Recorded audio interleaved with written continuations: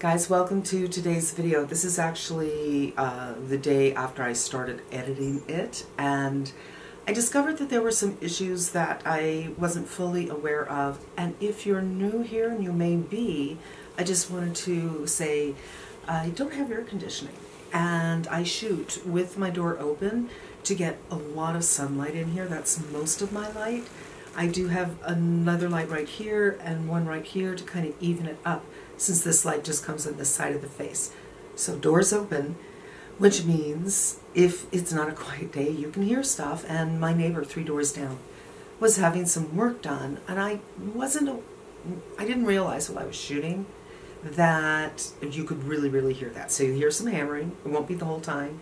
You will absolutely hear my fan, which I had on on a higher range than I do right now. I don't have air conditioning and it's just the way it is, you guys. I I don't have, um, I'm not lucky enough to have central air and to have an ideal uh, setup so I can close everything and you don't hear noise. And I just wanted to explain that. It's not always like that. Today I have the fan on really low so you can't hear it. You can't hear my LED light. And it's Sunday, so there's no work being done and it's lovely, but it doesn't always work out that way.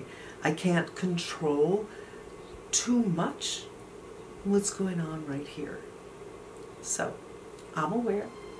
I apologize, but the content is still the content, and I have some really good comparisons for the Lisa Eldridge newest release, and now we're going to get into my actual intro.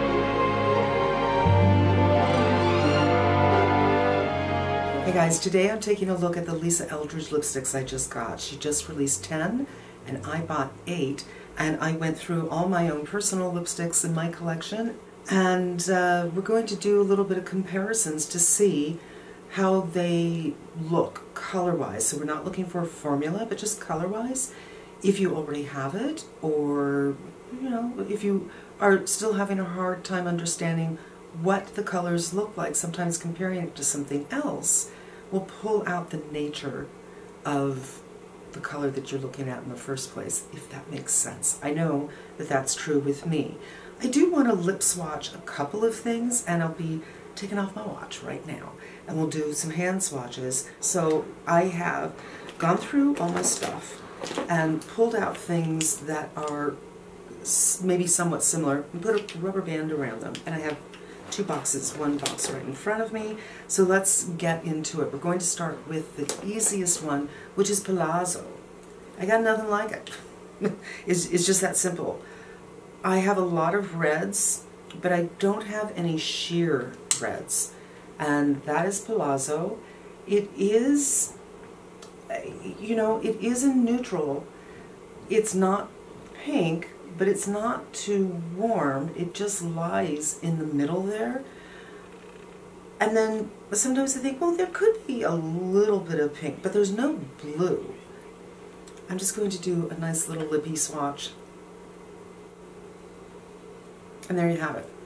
It's very, very pretty, and this is a luxuriously lucent, so it's very comfortable. But it's also not long-lasting at all if you are afraid of color, that formula is a good way to dip your toe in. It's not as glossy as a gloss, you know, so it's not super shiny. I don't happen to love a super shiny lip on me. It looks nice on many people. So it's a great way to just kind of start off getting into the bright colors, and she does have a couple of brights in this formula. This is Palazzo. So I guess I grabbed the box with the brighter colors, which is fine. So this is Strawberry Shock. I'm not going to put this on my lip, but here is what Strawberry Shock looks like. And I have some things, not exactly the same, but similar, you decide.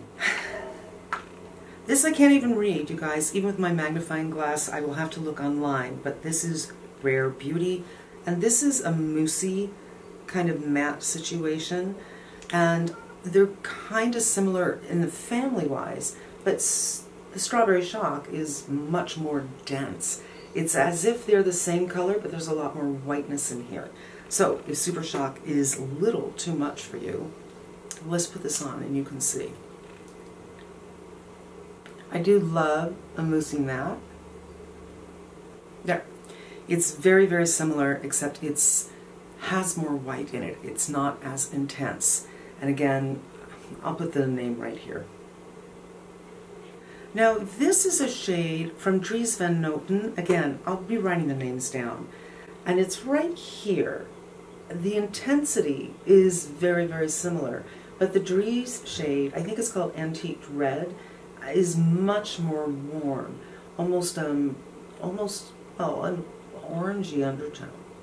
Now this is a limited edition I don't think is around anymore, so if you happen to have bought this, this is Kelly from NARS, and it looks very similar to me. I would say that this one, uh, Strawberry Shock, is a little bit darker than Kelly, and this has a little bit more vibrancy. It almost is neon in its nature. I'm just going to put it on. And that's Kelly by NARS, which was a limited edition, but it reminded me a lot of Super Shock. Kelly, not Super Shock, Strawberry Shock. Kelly and Strawberry Shock. So this is the Dior Addict in 673 right here. And again, these all kind of have a similarity to them, but they're just different degrees of white or depth. And this one is probably, it's a different formula for sure, but probably not as dark and might, it, see, it depends on how I'm turning my head, my hand. If this has the reflection on it, it looks different. And then here I'm like, okay, there's no reflection. It looks very, very similar to me. I'm just to put this on too. This is extraordinarily comfortable, you guys, but I think the issue that, I don't know, for me personally, I might have with a formula like this being so bright, is I would be afraid that it would kind of end up all over the place. Uh, but I think they're super similar. I'm going to put on the Strawberry Shock and do a side to side. So I'm just going to kind of sit here and smile.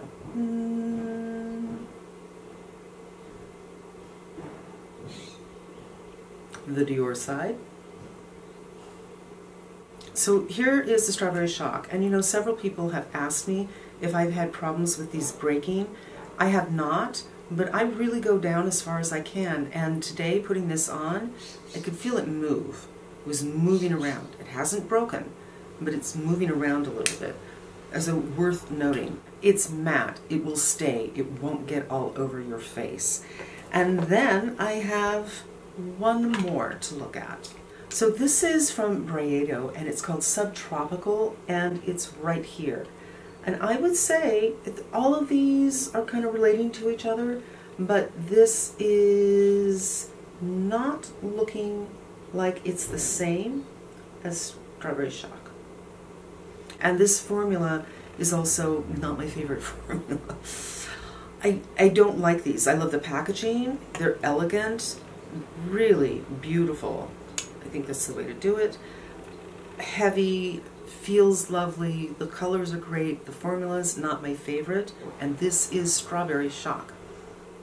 And I do really, really like it. New Wave, New Wave.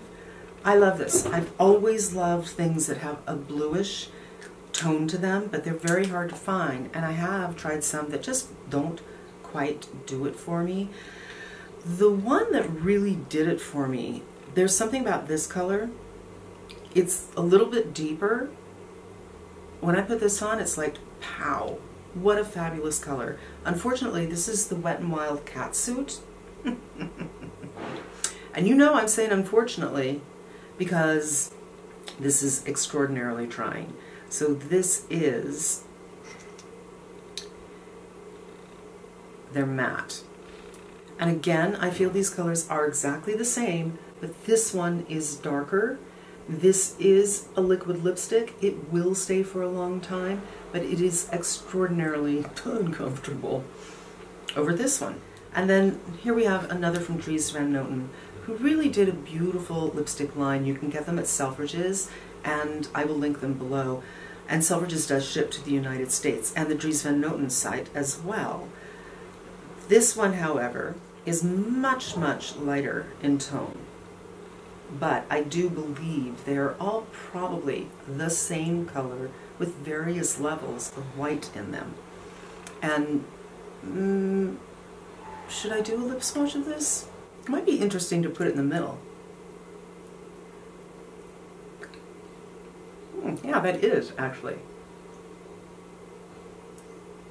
For me personally, I think this is a very editorial thing to do, to put something slightly lighter in the middle. I talk, I eat, I drink coffee. It's not going to stay in the middle where I put it, but you know, professional makeup artists will do it for photo shoots because that's kind of their job is to be on set making sure, did this stay in the center? Do we still have that pouty look? In real life, no. And it's extraordinarily subtle, but I think you can see that they relate to each other. So, basically what I'm giving you with New Wave is if you want something darker, so uncomfortable. I love it, but it just kills me. Or you want something lighter, but I happen to really like this shade quite a bit. So the New Wave kind of stained my lips a little bit. I did actually put some foundation on on my lips, but you can still see that bluishness, so I'm not sure uh, if I'm going to do a lip swatch, but this is Je ne sais quoi. And I had said in the video, I thought that it looked pink. On my hand, no, I get it, it's a coral. But on my lips, I thought it looked a little pink. Again, this is a luxuriously lucent and not a lot of opacity. Very, very comfortable. Putting them over this blue lip, probably not going to do it for me. This is a Guerlain. I'm not sure if it's still being made. It seems more vibrant to me, but I do feel like they're kind of maybe the same color with more vibrancy. How people perceive color is very interesting and very different, even myself. When I tried on the Strawberry Shock in the living room with just living room light, where this room gets a lot of sun, I thought it was more pink. When I first tried it on, you just it's so hard, you guys. So sometimes I feel like listen to what I'm saying, but also listen to what your eyes are saying. This is Coral Vif from Laura Mercier. It's much more opaque. It's comfortable. It's not a matte. And just turn around a little bit. And when I look at Coral Vif, I don't know. Do I think? There's definitely more pink in this one, for sure. The Guerlain. But when I compare these two, let's just shear this out a little bit and see. It feels like there's more orange than this one. And here's another one that I honestly, I don't know if it's being made anymore. And this is Tom Ford, True Coral, which looks closer, I think, than the Laura Mercier. I'm going to just put this on because it is more opaque. It's a beautiful shade. I don't know why Tom Ford doesn't make this anymore. Don't be mad at me for showing you stuff that is discontinued. You might have it too. Night Thoughts. I had said during that video I just don't have anything like it, but I did wonder if Black Cherry, was that what it was called, from Clinique, was similar. And there it is. I do actually have something from Fenty that I believe is the same color, but it's not sheer because Night Thoughts is a luxuriously lucent. And I'm just going to show you. this is my favorite liquid liquid lipstick formula. And there you go. I believe that these are the same color, just different intensities. Oh, I'm wrong. I think there's more blue in this. I'll just move it around for you a little bit. But completely different formulas. All right, this is Sunday Matinee, which I am wearing on my lips now. And this is the kind of color I'm a little bit obsessed with. I have a lot of ideas here. Years ago, not years ago, a long time ago, months and months ago, I had mentioned that this formula from Charlotte Tilbury is gone, bye-bye. And it's a moussey matte. I happen to love this formula, but I guess not too many people do. And the color is called Too Bad I'm Bad. Or, yeah, Too Bad I'm Bad. I was going to say, I mixed that up with Sorry, Not Sorry. And I love this color, and she just has not repurposed it to a different formula. So I was wondering, could this possibly be the same thing? And here it is. I don't think that they are exactly the same. This appears to be darker, but it's super, super similar. And someone else had asked me if I had found anything similar to this one. Not bad. Not bad. So this is Pat McGrath Allure, which I thought was limited edition. It has limited edition packaging, but any time I use it in a video, I'm able to link to it. So it's still around. And golly, but when I put this on, I feel like it's really, really bright. It's right here, and it looks very similar. Again, I'm just moving it around so you can get, you know, undertones and that kind of stuff. The undertone is different. Pat McGrath, Amour. Amore. This one, I believe, has a lot more coolness in it when I look at it in the tube. But this is Tom Ford Indian Rose. Yeah, there's more blue in there. This is old. They've changed the name, but it used to be called Amazing Grace after Grace Kelly. Same kind of thing. I feel like there's a little bit uh, more yellow in that and I love this shade. So the two shades that I love the most are the Charlotte Tilbury and the Amazing Grace. They're a little bit different, but God, you know, when I look at it this way, they seem very, very similar. Now this is Lisa's Velvet Petal.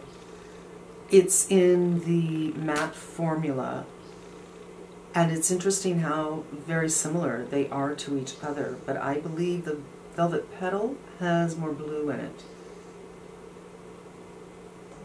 Now this is Wonder Wheel. There's a lot of pink in this, but I feel there's corally, orangey kind of a thing to it as well. And again, I can't I can't say how many of these are actually still going to be around, but I found this NARS, which I think is very, very similar. Again, there's a lot of reflection to the NARS, so it's hard to tell, but I think they're kind of similar.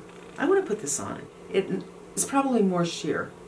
And here we have Charlotte Tilbury Miranda May, which is also very similar, but this one is has more of a brightness to it, more of a neon-ish kind of thing going on.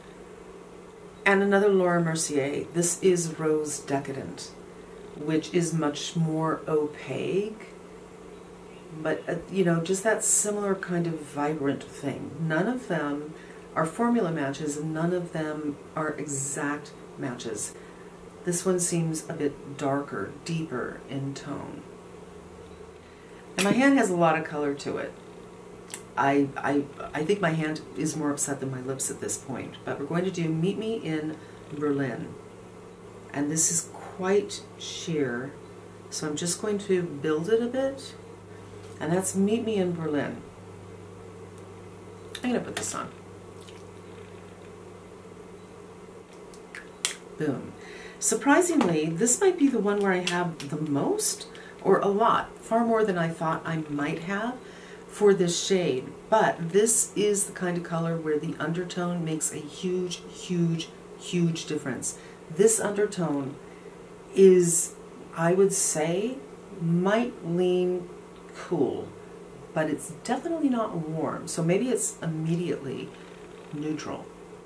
Gucci Linnet Stone. So this is a luxuriously lucent, and so the finish is very, very similar.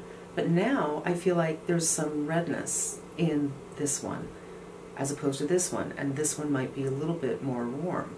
And that's what these look like. The Merit Lip Oil in Taupe. Look at that. And again, just going to move these around because when the reflection is on them, they kind of look different. I think that is very, very close. The Victoria Beckham in Spice. Now this one I feel might be more warm, but again, it depends on if there's shine on it or not. Like here, it looks more warm. The Sisley Beige Eldorado, much more red in this one.